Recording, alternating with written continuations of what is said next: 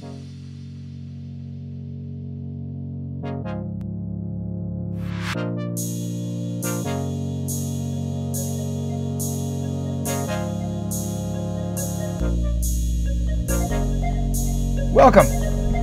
Today's uh, lesson is going to be on how to analyze a breeding bunny lab that we did uh, just a couple of days ago.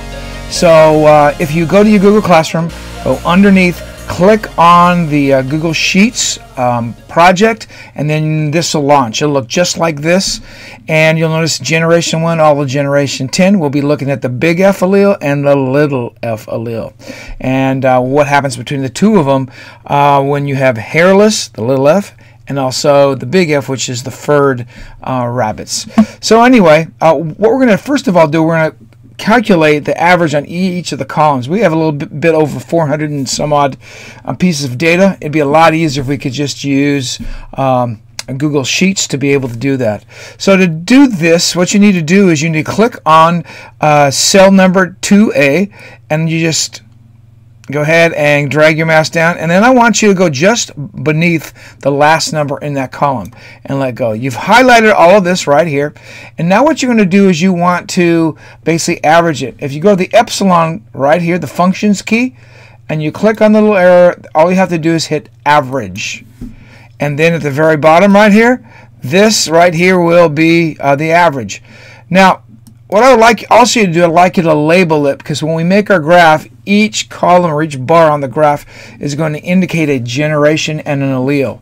So what I would like for you to do is um, go ahead and press G for generation, 1, and then it is are we calculating the big F or the little f? In this case, it's the big F. So generation 1, and of course the capital F allele. Now let me go ahead and do it one more time.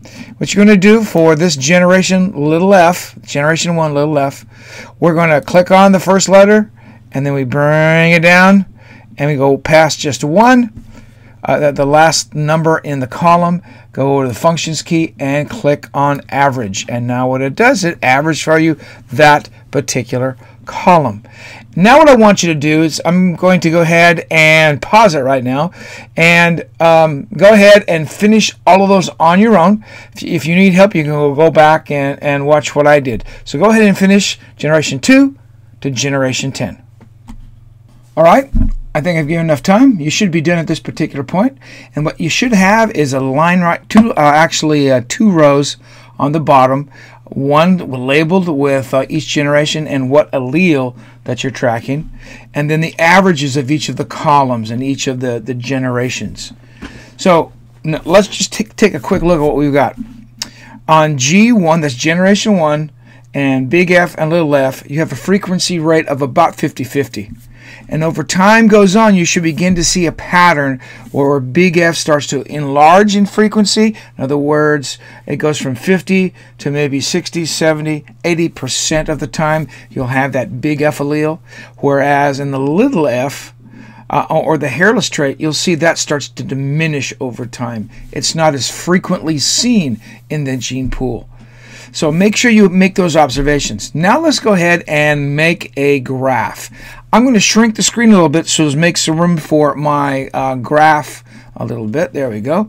Now what you're going to do is you're going to grab or, or click on cell number A of, or 40A and then what you're going to do is drag it to 41A and then just highlight all those uh, horizontally until you end up G10 a little f. So you should have that all selected. Once you have that selected, then what you're going to do is you're going to go right up here to insert. Everybody see that? I'll enlarge that for you on, uh, on your screen. So that's going to be enlarged. It says insert, and then you go down to chart. And I'll highlight that as well. When you go to chart, you're going to have some choices to make. To click it once. And then we want to, basically, we want a bar graph. This first one right here. And you'll notice that it's all uh, labeled with uh, like uh, G1, G2, etc. And then the smaller ones, as you can see with the little pointer, uh, they're the little f allele. So I'm going to, that's good enough for me. So we're going to click on insert and it's going to place itself somewhere. And I've got to go find it. There it is. And I'd like for you to just click that drag it over here next to the question. Now, these two steps were just steps. Um, for instance, calculate the average of each column. We did that. And then when you have all the averages, make a bar graph. We just did that. Now, I'm going to just give you a couple of quick hints on how to answer that question. Now that you got the graph, you're going to be analyzing that. Now, what's a great thing about this, it is a... Um, it's a live graph, so you can click on these bars to see the averages and you can see uh, what allele we're talking about, etc. So I hope that you'll include that in the in the answers down below. But when you're, it, it says, what does this data say about frequency of the F allele and the little f allele, the big F and the little f allele?